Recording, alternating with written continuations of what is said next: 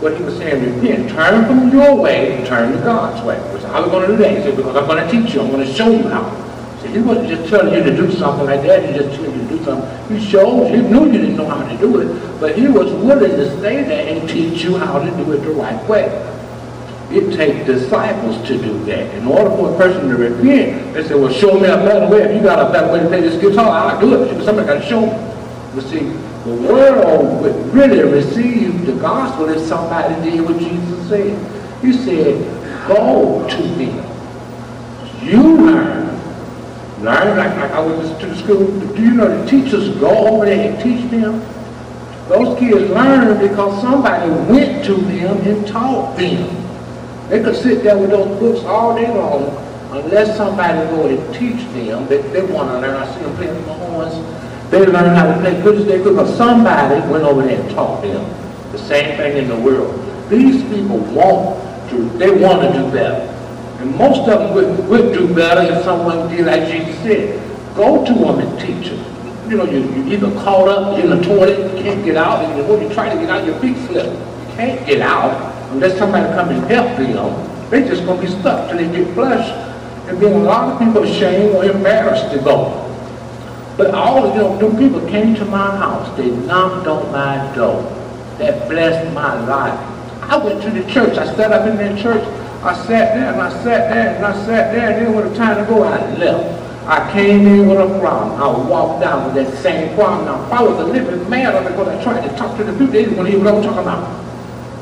But when those people came and knocked on my door and began to share the goodness of God, even though after so long studying with them, we had to part because I believe in certain things. I believe the power of God is still today. I believe the power of the, the Holy Spirit is still here today. I don't believe it stopped at some point. And I don't believe that we are just a meat that's supposed to here on earth. That's just the first beatitude. Once you continue to read that Bible, it says, blessed are they that there's a whole bunch of blessings in there. So I want all of them. I want just one of them. I want all of them. If all of them is mine, I want all of them.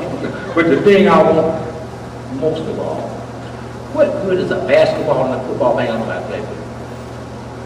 I want you to have it. I want you to have it. I want you to, Jesus, I want you to have it. He said, in praying, he said, Our Father, which art in heaven, hallowed be thy name. Thy kingdom come. That is so important. That's the main thing Jesus wanted us to do is teach the kingdom. But we can't teach what we don't know. We've got to learn about the kingdom. The kingdom is real. There is an order.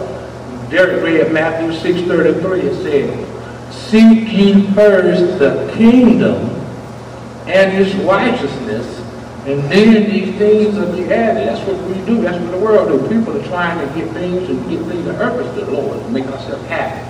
Well, the things do kind of add some comfort to your life, but that thing by itself not going to because it's not yours.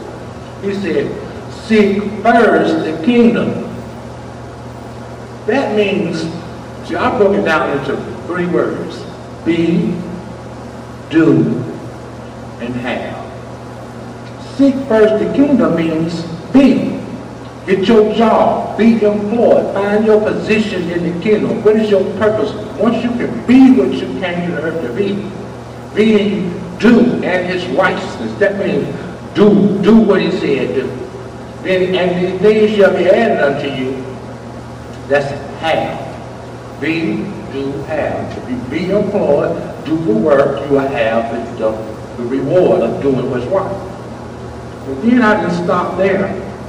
Be, do, have. In this world, this world is made based on fear and greed. Do anybody pay your car note? If you pay your car raise your your car note. You pay a house note, raise your hand. Well, I'm telling you that you shouldn't. Jesus said, owe no man nothing but the continuing debt to love one another. See, in this world, in the world of fear and greed, we pay. But if you don't pay your car note, they're going to take it back. If you don't pay your house, they're going to take it. But I'm telling you, when Jesus was forced with that same issue, he said, Bishop, uh, go there and catch a fish and get out enough gold and give to Caesar that which belongs to See, in the kingdom of God, it ain't no paying fear. It's giving and love. If they gave you that car, then you give them the money. If they gave you that house, you give them the money. You know how I learned that lesson? Because I had to go and pay child support. Sure did. Some people say, if you don't pay that child support, we're going to lock you up. I thought about this and I said, no, these are my children, I love them. You know, I've been on taking care of them all my life, and I, I'm going to go up and take care of them to pay for them.